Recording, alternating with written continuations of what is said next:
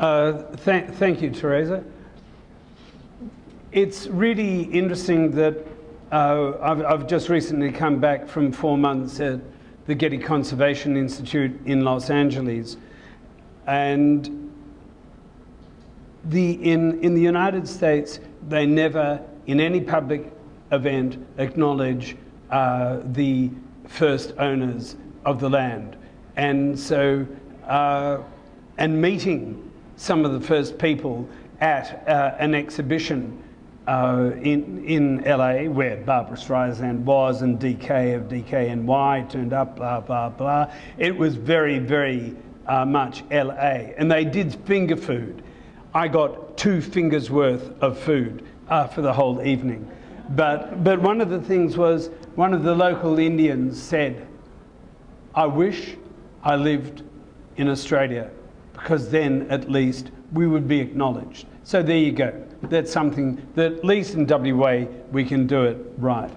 So what I want to do today is just give you a quick run through of some of the rock art sites, the different types of rock art that's around in WA, and give you a bit of a feel for what some of the processes of deterioration are all about, and how I, as a you know, boring chemist, went around solving the problems. And uh, if any of you know where Bolgart is, uh, it's up near Northam. And John Clark, who used to be the museum's rock art conservator, had tried uh, this. This is a big kangaroo, in case you can't see it. Um, uh, but the big kangaroo was all covered with lichen, and the lichen was destroying the granite and the engravings. And so you reckon, right, well, lichen needs zinc, maybe we'll just give it a lot of zinc. And so he tried zinc sulfate, zinc fluoride, zinc this, zinc that. It really didn't matter. So we used the cheapest thing of all, zinc sulfate. And just painting a little bit of zinc sulfate on the uh, rock surface killed the lichen in a bio-friendly, environmentally friendly uh, fashion. And so it meant that the image was preserved. And so it was several years later when uh, I went to uh, Wave Rock and I saw this unusual you know, patination of the rock. And here you can see it in more detail. And of course, it's the zinc because for occupational health and safety, you to stop people going, oh, I wonder where the ah! is. Uh, and, and falling over and killing themselves and making a real mess down below. Um, at least it's easy for, for FISA when bodies are dropped at the bottom of a cliff to pick them up. But anyway, they, I looked at it and here is the flow lines. This is where all the lichen has been killed off from the corrosion of when rain does occasionally come to Hyden and the galvanized iron fence posts and the galvanized mesh corrodes. So zinc corrosion products are generally water soluble, and, and, and so it went and killed off the, um, the lichen on the rock. And so it's always a case of too much of something is not good for you. So it's a bit like St. Paul said to Timothy, take a little wine for thy stomach's sake and thine oft infirmities. And yet, if you drink a bottle a night, you'll end up getting cirrhosis of the liver. So you've got to find a balance. And in conservation of the natural environment and working on shipwrecks and on rock art sites, it's a matter of finding that delicate balance point between uh, in subtle intervention or changing the environment so much that uh, a new problem suddenly emerges. Nearby, uh, up in the wheat belt, you've got, here are some examples of uh, typical uh, images that you might find. These uh, concentric uh, ochre circles deep inside a granite cave, and this is how the granite does you know, block weathering. And you just want to make sure that if you're camping, just look at the cap edging of the rocks because it is inadvisable on a frosty night to camp too close to those edges because all of a sudden they can just go boom. And if you want to know what it is like to have five and a half tons of rock drop on you in the middle of the night, uh, I would recommend you camp there. Um, but in this case, here are the hand stencils. And all throughout this cave, I mean, that's, that's Papa hand, Mama hand, and baby's hand. And, and those hand stencils you know, made you chew up uh, the kaolin or you know, the, the, the clay that's there, put your hand there, and then just go and blow the biggest, longest raspberry you can. And you leave your imprint there. And when it's properly cared for in the environment inside the shelter, some of these handprints in this cave have been dated at more than eight and a half thousand years old. And so, uh, what nice, subtle way of saying, I was here. Uh, our current methods of saying, I was here, are either building monstrous buildings on St. George's Terrace in the hope that it might be there in 60 years' time. So I think uh, they knew the better part. And of course, here you've got a, a snake and a goanna joining together. And the person who started me off in rock art is this man, uh, John Clark, and that was me, uh, yeah, before I got old and, uh, and lost my beard and moustache. And th this is the rest of the team, and obviously working in uh, conjunction with Indigenous elders who take you uh, to the sites because it's their country, you're working and walking on their land, and so you need to be guided uh, by their experience and understanding of the uh, spirituality of the sites. And up, uh, it, if you go to Cue, hands up those who've been to Cue. Good, good West Australians. Um, it's, it's, it's magic country up at Cue. And up at Walga Rock, there are a whole series of images painted in the shelter here. This is original uh, vegetation. That's obviously original vegetation. But one of the thing, one of the problems there was that uh, there are a lot of inherent fugitive, that is reactive pigments like kaolinite, the white clay, calcite, calcium carbonate, and which are very prone to acid dissolution and being lost. Now, everyone normally says on archaeological sites, look out for bird shit. I mean, sort of avian guano, but it's basically bird shit. And the birds would roost up here, and then occasionally it would rain, and the water would wash uh, the poo uh, down. And so these are basically poop lines uh, from birds, quite naturally occurring. But what was amazing was the ochre pigments and you know, the rock art there is, is really quite very, very fine uh, paintings. But you can see these areas are where uh, little bits of the granite there, you can see it less active spalling. But this is where the solution weathering of the granite uh, gets in, it changes the minerals under the surface, the hydration changes, and then the new minerals underneath that little rock surface go badoing and blast the surface off. And so that's what's happening there. But one of the curious things was that right under the bird shit lines, for want of another word, uh, these white pigments were incredibly well preserved. And everyone had said initially, you've got to get rid of the birds you, you and you poison them. People said, oh, yeah, the best way to manage the rock art on this side is kill the birds. Well, if you're a kestrel or a sparrowhawk or a falcon, I mean, life's tough in the Murchison. And to have a rock art conservator going around with a gun, yeah, 22, trying to shoot you or something, is not nice. So we said, no, no, let's just understand what's going on. And in fact, what it was was that acidic phosphates from the avian guano reacted with calcium carbonate to give you a different uh, calcium mineral, a calcium pyrophosphate, and the bicarbonate just washed away. And here you can see the surface pH of different parts of the rock. And right near the avian guano flow, the surface pH was you know, about 4.75, which is acidic enough to get these reactions. So what did we do? With our mates in CSIRO, we went and got, I went to the zoo and got modern poo uh, from the same type of birds because the composition of poop uh, varies enormously uh, from bird to bird, just as it does from human to human, depending on your diet.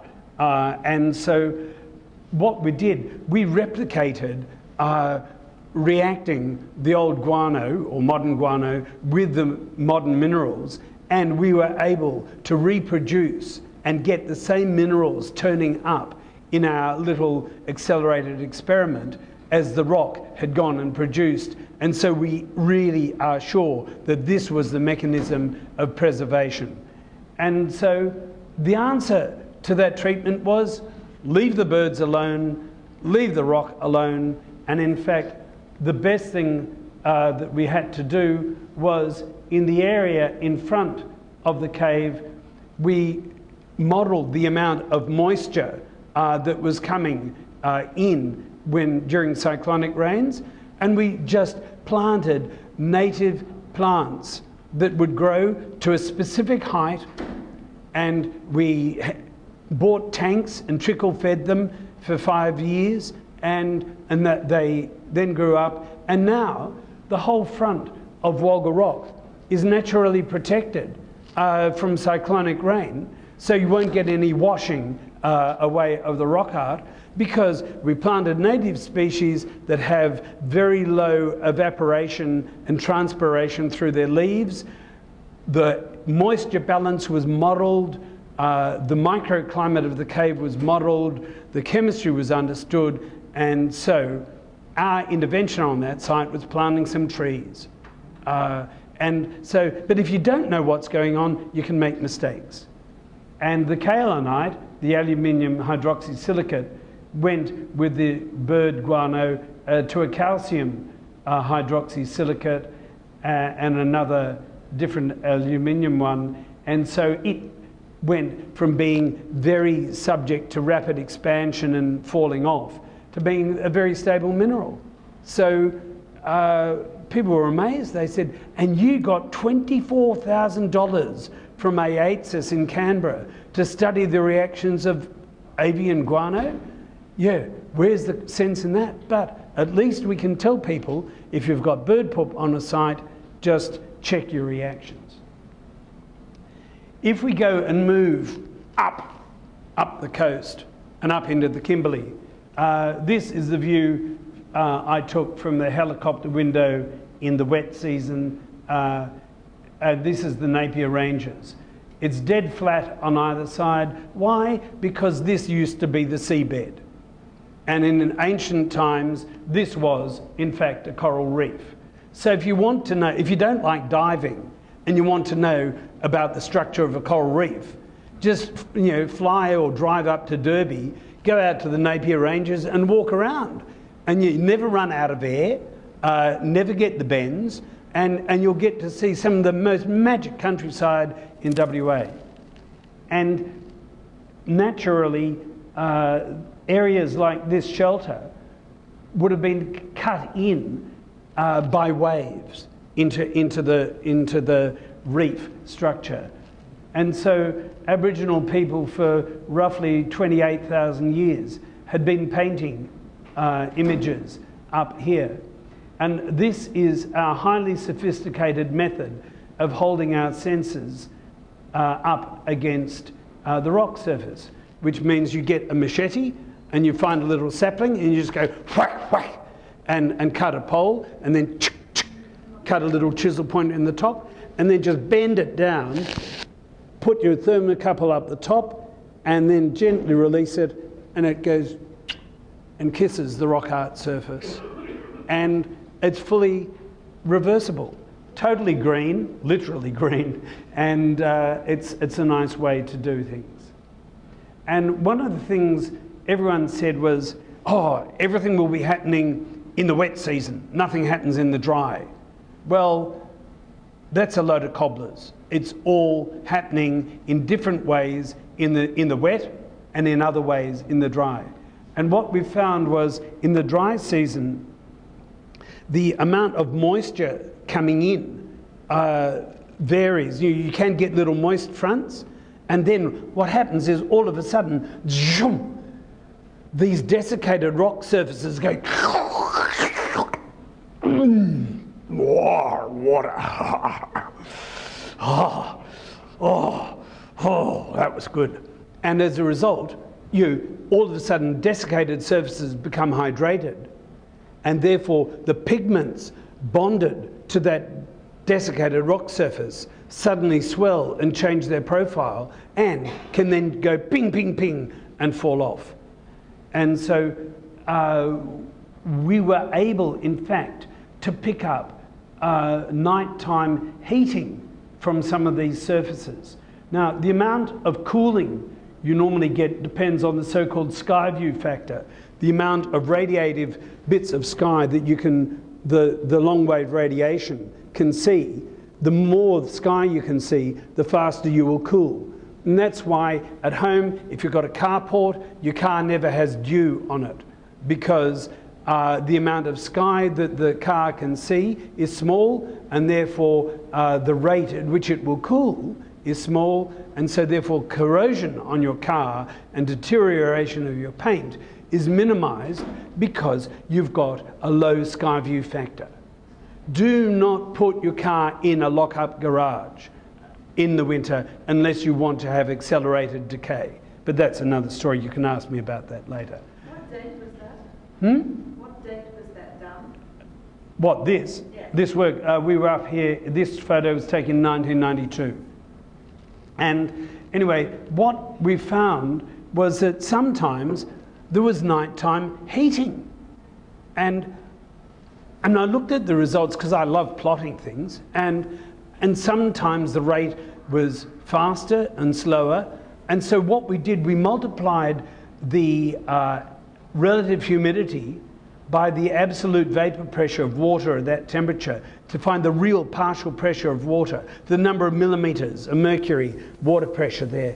And we found that the rate of cooling and heating was dependent on the vapor pressure of water. And so as we plotted the rate against vapor pressure of water, boom, there was a result. The reason why we we're getting nighttime heating of 0.032 degrees per hour, not much, but measurable, was because a moist front happened to be passing through the Kimberley at the time, and the rock went, and as it condensed the moisture on the rock surface, the water gave off its latent heat of condensation, and surface increased in temperature. So, you know, I mean, talk about sensitive. You may think that chemists are non sensitive, non caring people that just destroy the environment. I tell you what, armed with proper data loggers and really good thermocouples, we are very sensitive. And there's my colleague uh, Phil Haydock, looking a bit tired, I think, uh, there. And that, that three fingers in the air means it's the third roll of film um, you know, uh, make it a register of it. And, and there's Phil attaching one of the sensors, uh, climbing up on uh, a little ladder. But when you have to carry everything in or chopper it in, uh, you become very adept at, uh, if necessary, climbing on each other's shoulders to go and attach sensors up in the roof of caves. But the advantage of it is we know what's going on now. And so there you can see uh, one of the thermocouples uh, right against the rock surface and the RH probe taped to the top of the stick.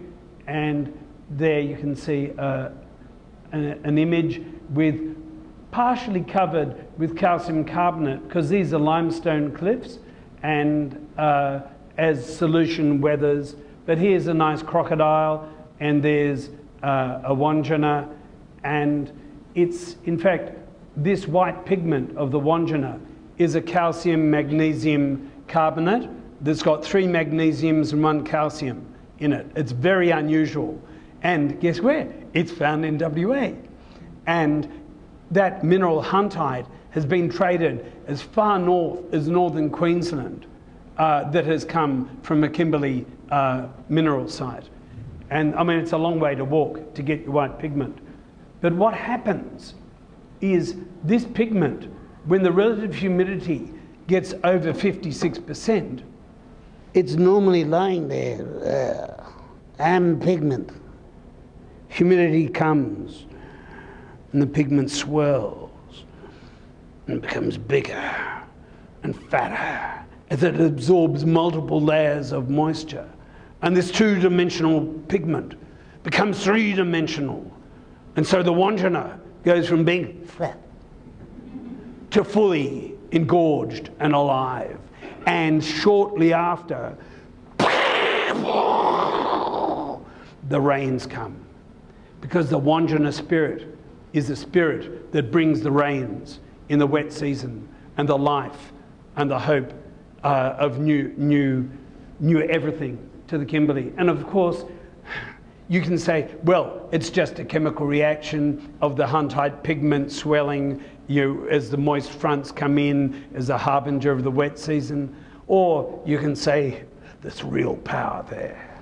Uh, and one of the simple ways of protecting these repainted images uh, from cattle is whack a barbed wire fence in front of it. Because animals, you know, when, you, when you're a cow, I mean, you imagine being a cow or a bull, you know, and you've got an itchy back, you know, it's a little bit hard you know, to get the back of your hoof up. And or if you've got two itchy points, you get two legs up and you fall down flat in your face. And so therefore, that's why cattle always go and rub their backs or their bottoms against nice rocks in a cave. Well, if the cave happens to be an Aboriginal rock art site, the images can get seriously abraded. And because there was still cattle on this station that hadn't been cleared, uh, the simplest form of site protection was just whack up a fence. And that stopped the physical abrasion of the paintings. And these, these images had been repainted uh, just four or five years before this photograph was taken in 1990. And people, there was a lot of controversy because it's up near Mount Barnett at the time. And someone said, the Aboriginal people are destroying these ancient rock art images. This is desecration. It should be stopped. They, you know, they don't know what they're doing. The person making that noise was trying to sell his station at the time and promoting the value of these ancient rock art images uh, on his land. So, of course, he had a commercial interest in it. But our analysis of some of the layers in these uh, cave paintings and sites shows that they've been repainted 10, 20, 30 times over maybe 15, 25,000 years. It is all part of the whole symbolism of the spiritual power of the site, calling the elders to go and repaint them and revitalize them. It's the world's oldest living culture, and we're living right in the heart of it if we only look. And so, up in the Mitchell Plateau, uh, you've got lots of, of Wandjinas, and you know, you can see you know, tail of a kang big kangaroo, and you can see the uh, areas where the huntite pigment has, has been, been coming away. And one of the reasons this grey-black material in there was the calcium oxalate mineral hewellite, uh, spelt whewellite, and it was there as a result of biological activity. Plants are, are not like dogs. I had to walk my sister's dog the other morning at six o'clock, Mount Henry Bridge. So it drops stuff, and you have your plastic bag and you pick it up. But with plants, do we know? Do we know what plants do with the stuff, their leftover stuff? No, we don't. Why? Because it's normally hidden. And, and, and you can't see the minerals because they go back into the ground. But in a rock art site, with plants living on top of you, where do the plant metabolites go? Out, down, onto the rock surfaces. And so oxalates, which are inherently toxic to plants, the plants go, I didn't want you. And they get rid of them.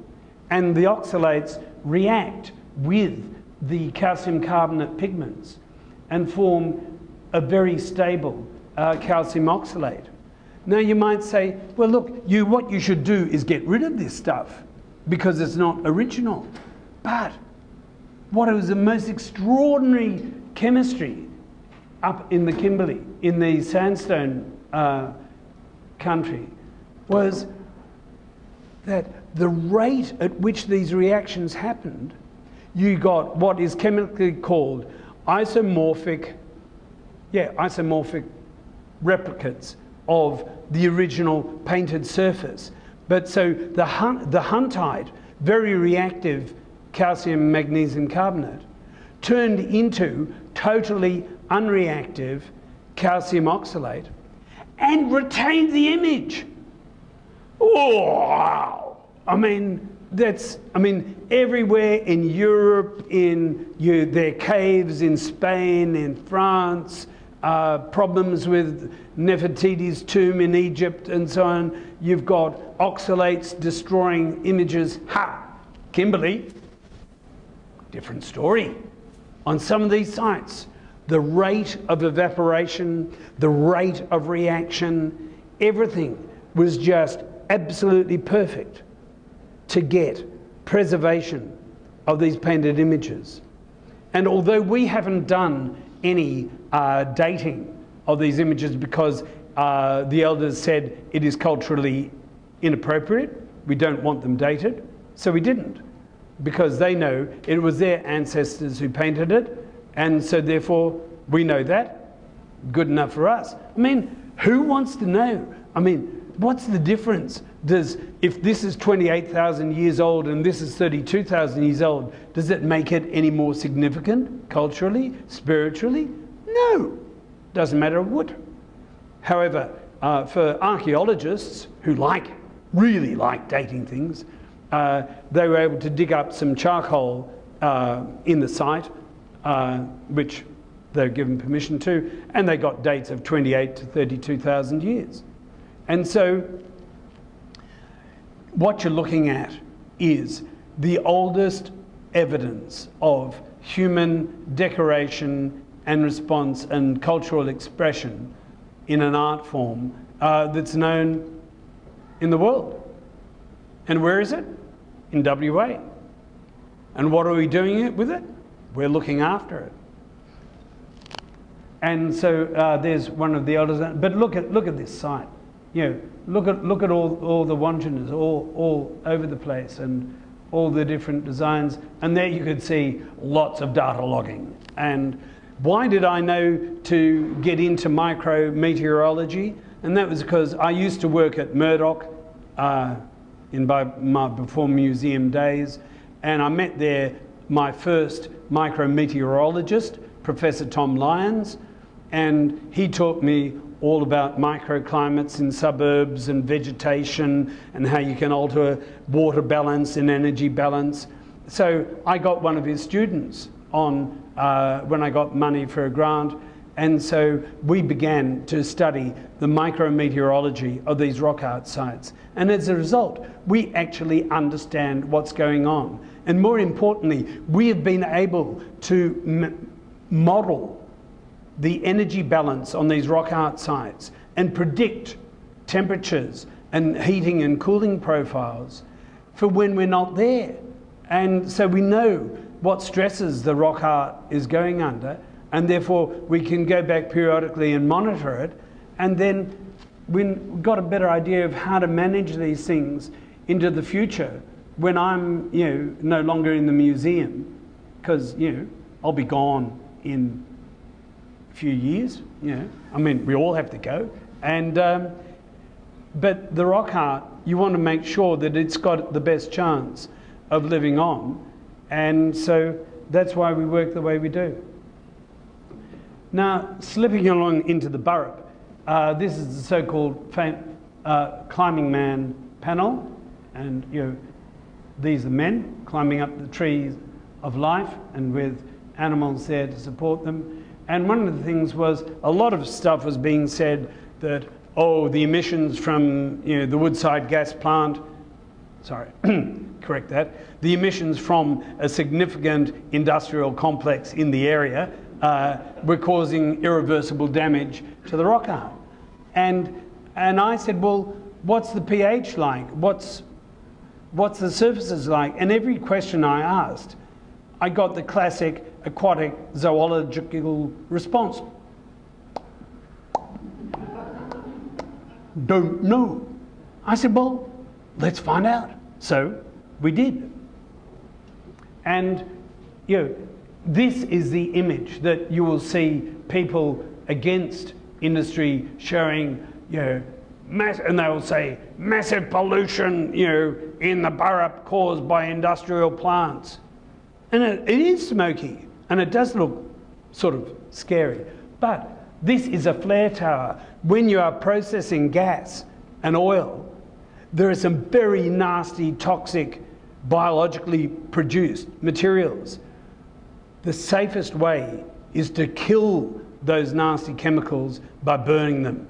So when you get a build-up of these nasty gases, they just get vented through the top of the tower and and they're all gone, safe and sound. So not a problem.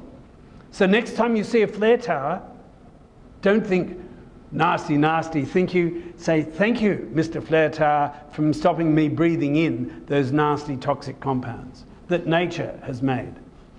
Uh, and here, this is me down below. Uh, why, you, you might ask, am I wearing uh, a shade over my neck? And that's because it's very hot up there. And I'm very prone to sunstroke, and I don't like vomiting for 24 hours on a three day field trip, as I've done in the past.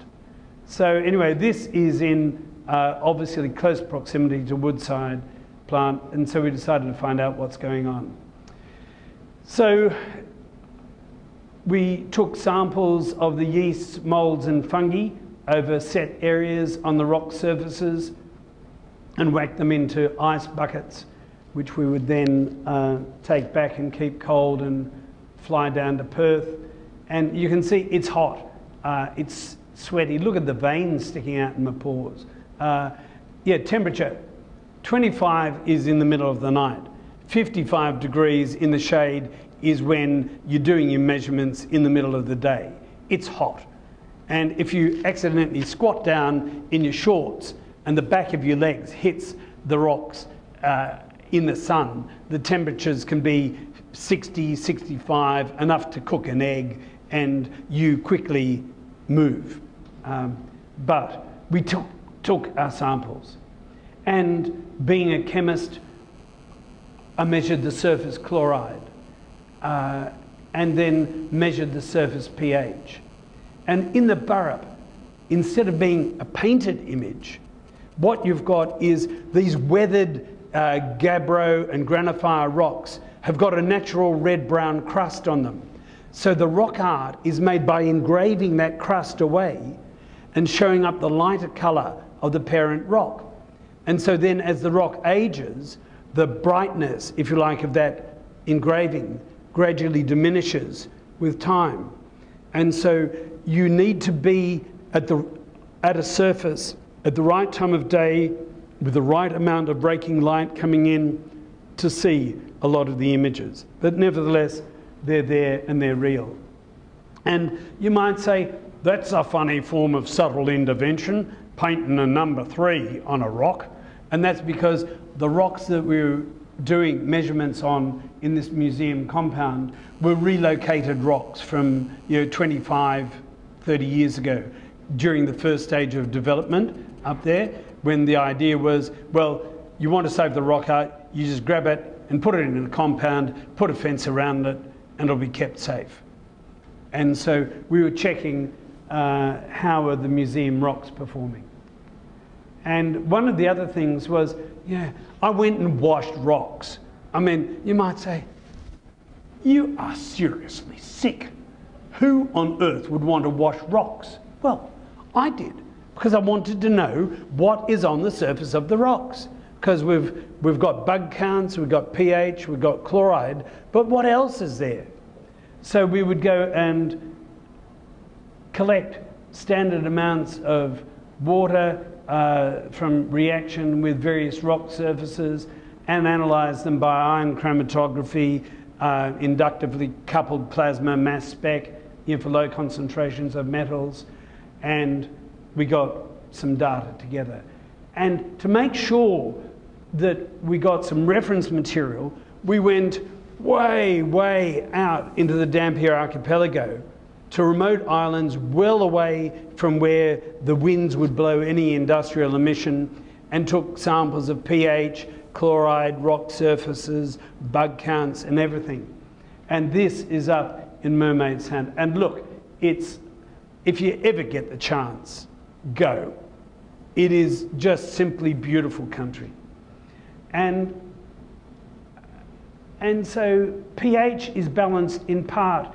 The acid from the metabolites is balanced out by the seaborne salts because as the wind comes in, it blows salty air over the rock surfaces. And as salt water concentrates, it becomes more alkaline. And so it acts as a natural you know, balancing effect to biological decay.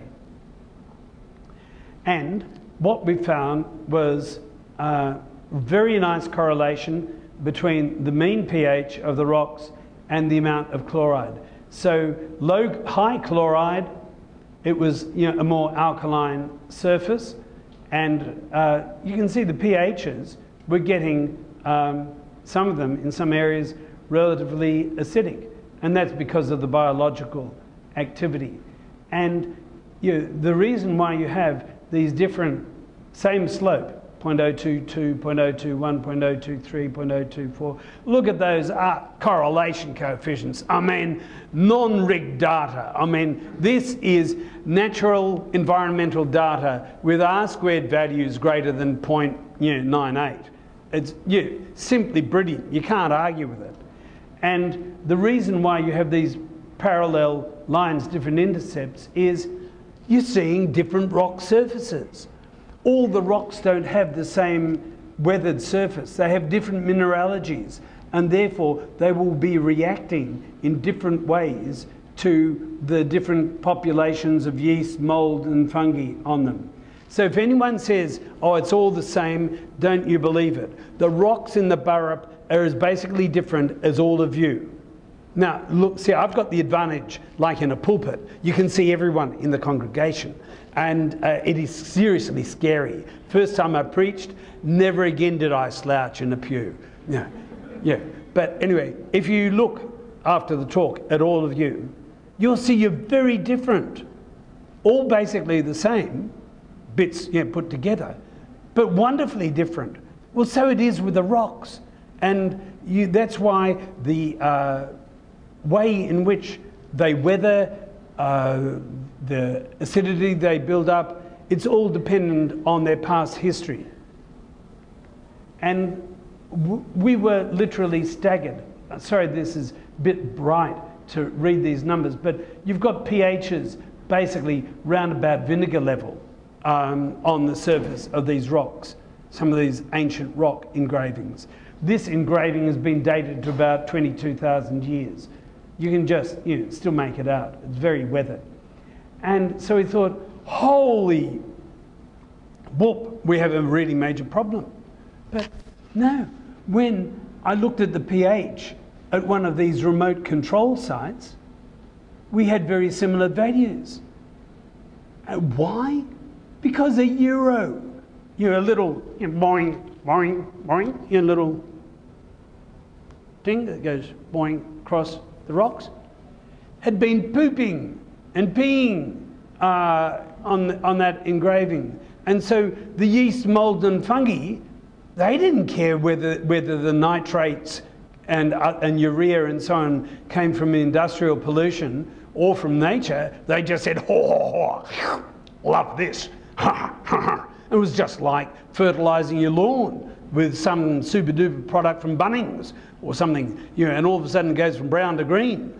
Um, well, the same thing happens with rocks. So what we found was that the most acidic surfaces could be close to the industrial plant or they could be miles away. And in the miles away ones, it was the natural material coming from the natural animals that was causing the local increase in nutrients. So it's not as simple as you make out. And what we found was that if we look at the number of bacteria, here 600, oh, no, 60,000 of them, 50,000, and the pH, as the number of bacteria increased, the acidity of the rock surface uh, increased. And again, the parallel lines reflect the different geology of the rock surfaces. So we knew that the acidity was coming not from SOx, not from you know, NOx pollution, it was coming from naturally occurring yeasts, mold, and fungi.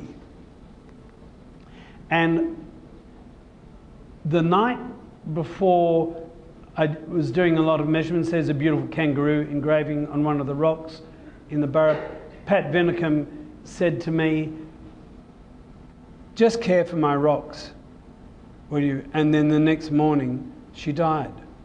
And so that's why I'm a bit passionate about the Burrup, because I've got to do the work that Pat had done years ago in documenting the rock art. I've got to make sure that her legacy lives on. So rest her soul in peace.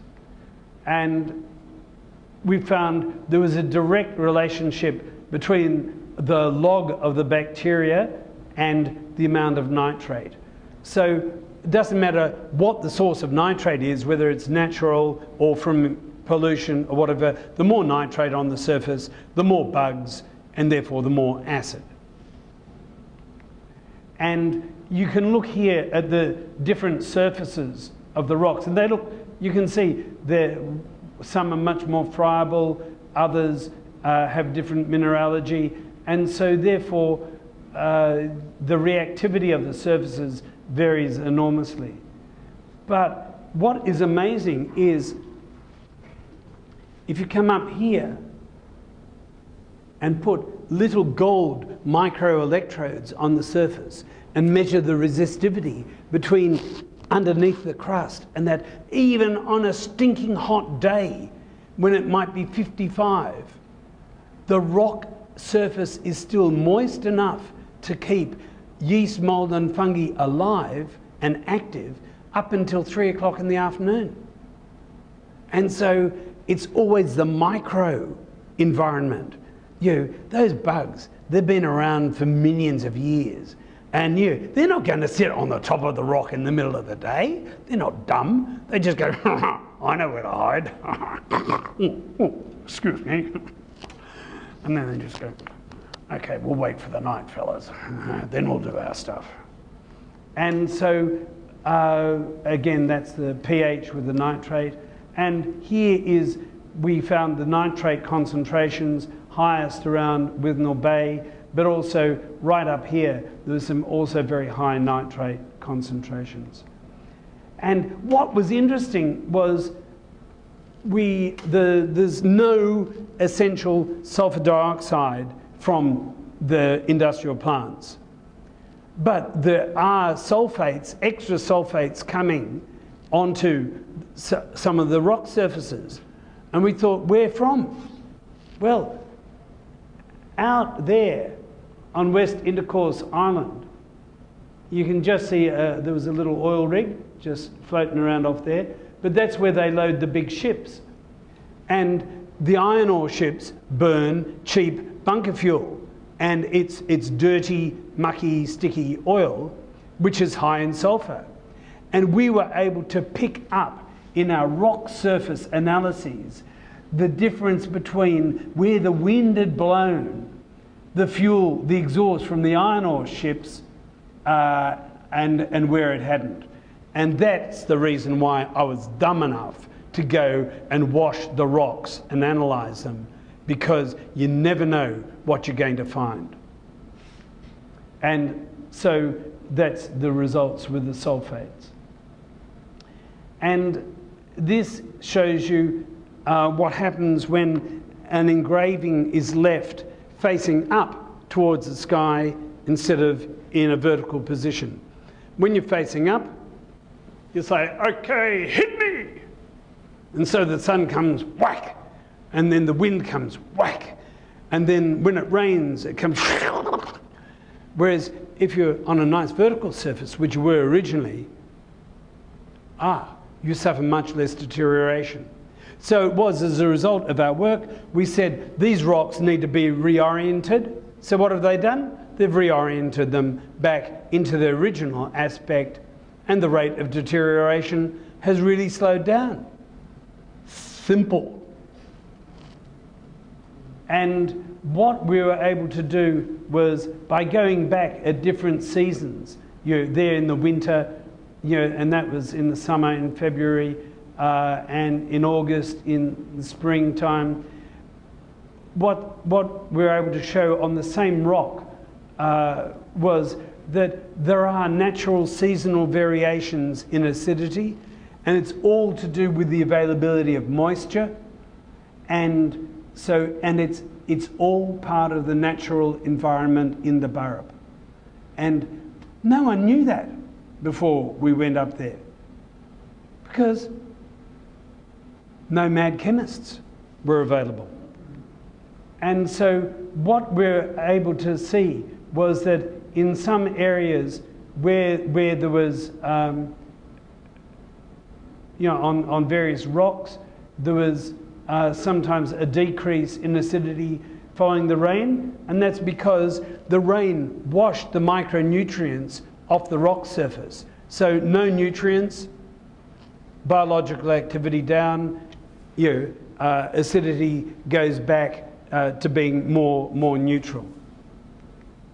And look at this uh, for, for reproducibility. Three different rock surfaces with pH profiles uh, on them. So you, many people would say, well, how reproducible is your data? It's very reproducible. And there you can see the engraving of, uh, the, the, that's the tail of a dugong. Um, and so what we found was it's all very sensitive to moisture levels. And so we're up there in the summer, and one of my doubting colleagues went and said to me, Okay, Ian, you go to St George's Cathedral, just pray for rain. I said, It doesn't work like that. You, you can't sort of try and trick God into giving you optimal research conditions. It doesn't work. And he said, just try it. And so three days later, all of a sudden, out of the middle of nowhere, this unexpected thunderstorm came through. So we sort of raced back and went out and resampled you know, the rocks and remeasured pH and remeasured this and that. And as a result, we found that don't worry about these ups and downs, but the main thing to note is that in some areas, like here, uh, this is the number of yeast and mold counts. Before the rain, it was 144. Uh, less than 24 hours afterwards, the number of yeast, mold, and fungi counts had gone up to 402. Um, this site uh, was sheltered and didn't get any rain. That got some rain, and this one up at King Bay, right up on the edge of the peninsula. Got plenty of rain, um, and and it it this in the summer, but it was not too much rain to wash off the nutrients, but it was enough to basically double uh, the biological activity. So water is one of the critical factors in controlling biodeterioration of rock surfaces in the Burrup. And so my colleague Warren Fish um, was there, Mans Lofgren, and this is um, Hearson's Cove, and just around the corner is uh, the site of much of this beautiful rock art. And so, part of the government's work, I've set up, helped set up the Burrup Rock Art Monitoring Committee. So we've got weather stations uh, all, all throughout the Burrup and a reference point down at Mardie Station. Uh, and oh, they have. All right. Yeah. Well, we set them up anyway, and um, we did the monitoring. And one of the problems you have in rock art sites in different parts of WA is ignorance. And in this site up in the wheat belt, uh, you had you know land rights for whites, etc. You can read it. And so what we did, we used nice uh, combination of cocktail of solvents and removed the graffiti and rubbed uh, dirt back into the rock surface to remove the uh, residue of the paint. And as John Clark said, the best protection for a rock art site is being more than uh, 500 metres from a four-wheel drive access track. Um, isolation is the best protection. But also, if you do get graffiti on a site, get rid of it um, because it only encourages you know, people to do it again. And that, ladies and gentlemen, is the end of my little travelogue of uh, rock art. Thank you.